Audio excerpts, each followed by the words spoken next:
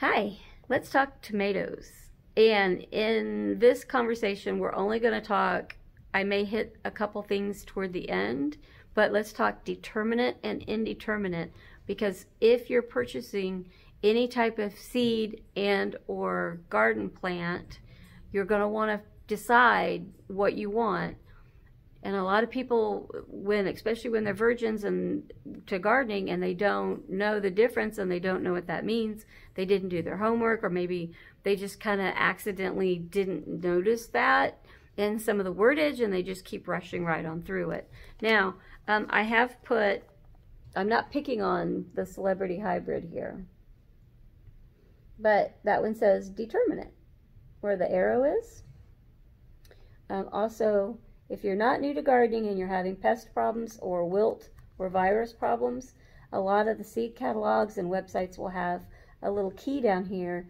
And if you look real close, there'll be a V or a P or a T or whatever in the seed uh, with the seed. And then you'd be able to go back and look at the, the little thing here.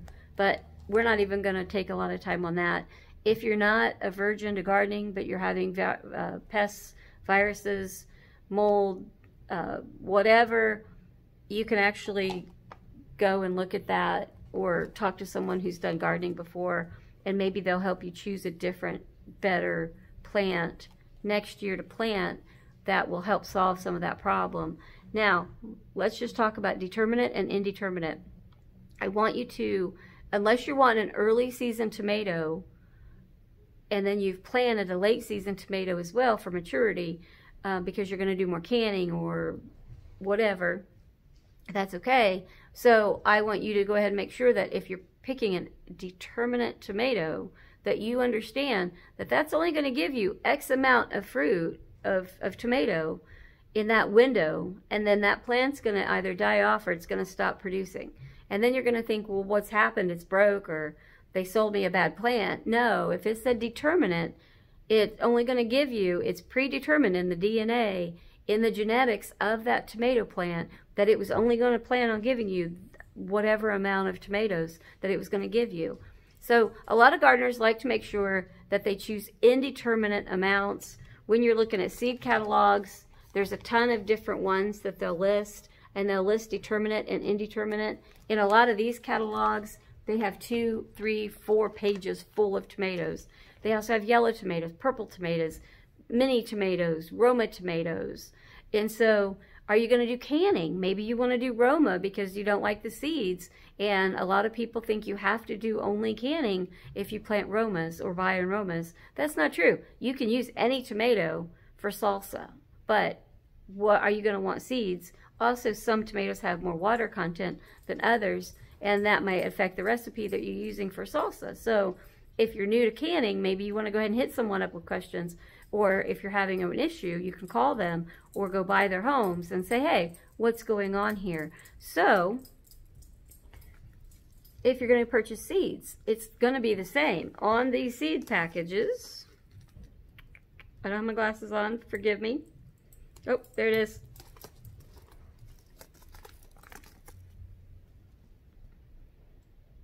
Yep, it's all going to be backwards, but look. Right there. Indeterminate. So, it's somewhere on the seed packages, on this seed package. It is not up at the top. It is, I'm looking, I don't have my glasses on. I should have, I should have highlighted it. Um, anyway, it is going to be more, this one isn't going to be through here. It's somewhere in the wordage here. Okay? Um, sometimes it's also on the front. But all seed cattle, all seed packages will have determinate or indeterminate on them as well. So that way you know. Maturity date. They have maturity dates on here. Usually, sometimes at the front, on the front, sometimes on the back. Um, that is from the day the plant is a plant and not a seedling, okay? So if you've just planted them and they've just popped out of the ground, and they're only this big, don't take the maturity date from that. Wait till they have a couple sets of leaves on them and and then that's your maturity date. So you want to maybe look at the calendar and go, okay, don't I don't want all 90 or 100 day maturity dates because now I'm not going to get any tomatoes in the early spring. So a lot of people like to get an early girl variety, plant them. That way you can have your salads early. Maturity dates are 45 days or whatever.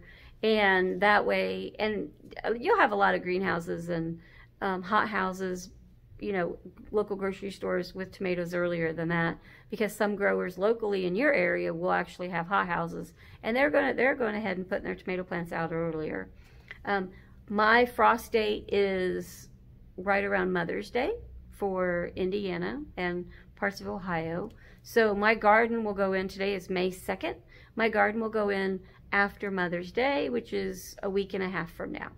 My seeds, I bought these seeds at a local box store. This is not a sponsored video, by the way. Uh, we, I ordered seeds and they didn't get here until last week because with this coronavirus and everybody new people coming into gardening which is wonderful. I'm not complaining. But i didn't get my seeds till late. I will make sure i store them properly. I will not put them out in the barn to store them where it's not heat and humidity controlled. It's not going to be cold. It's not going to be 125 degrees. It's not going to be damp one day and extra dry the next. So you say you, you have seed packages, you know you're not going to get to use them all. Make sure you pick a place maybe in your home that is going to have the proper uh, temperatures. I just like to put mine in um, a container with a lid and I put them, uh, usually honestly, I go ahead and put them in my storage closet, either in the hall or it doesn't matter, one of the bedrooms, doesn't matter because at least in the house, you pretty much almost always have your home set at the same comfortable levels. You know, it's not going to be 125 degrees in the house like it is going to be in the barn or the garage. So try to think about that if you've purchased seeds and you're not able to use them all. Where are you storing them at? How are you going to use them? Now, when you go to the big box stores and you buy seed tomato plants, they're also going to have determinate or indeterminate on there. Um, I do buy like an early girl variety. And then I'll buy like a beefsteak or big boy, better boy, one of those. And then sometimes I just buy all Romas. It just depends. I still do canning with any type of tomato. Um, if they have a lot of seeds, I will just go ahead and strain those seeds. I'm not going to get into canning. That's a whole different video. I just wanted to touch base with determinate and indeterminate and go from there. Determinate again, one more time is only going to give you X amount of, of tomatoes, and then that's it. It's going to stop producing. Indeterminate means unlimited amount. Now, real quick, that also depends on the grower. What is your soil like? Did you water on a constant level? If you needed to help give extra waterings, what the temperatures do. I usually would tell new people into gardening, write a journal you want to write maybe what the weather was doing. Was it extra hot? How often maybe did you water? What type of pest did you have? If you have, if you think you have these big worms on your tomatoes, it's easier to go out at night with a black light and like a flashlight and flash a light on your tomato plants and those big icky worm, the big green ones, will show up easily at, late at night. So maybe that's a hack for you um, that you just do that. Now, are you fussing with other pests? I will do other videos on other pests and watering as we go through the growing season. It's early and I just wanted to kind of touch base. So determinate, you're going to get a preset amount on the genetics and the DNA in that plant. Okay? Indeterminate, that plant may give you unlimited as long as you're doing everything that you need to try to do. So I hope this video helps. Make sure you hit like, make sure you hit subscribe. If you got someone new to gardening, maybe share this video with them. I'm to head outside. I actually put a summer top on um, so I don't quite match. But um, earlier I was outside and it was a little breezy, it was a little chilly, and it's warming up now still. Uh, so I'll probably end up getting to take this off. So we are to go. It's nice outside. It's beautiful. We are to go get some yard work done and pick up some sticks and stuff and just get some stuff done. So I hope you guys are well. I hope you're doing fine. If you have any questions, leave them in the comments below and make sure you like and subscribe and share. Have a good one, guys. Bye. Be safe.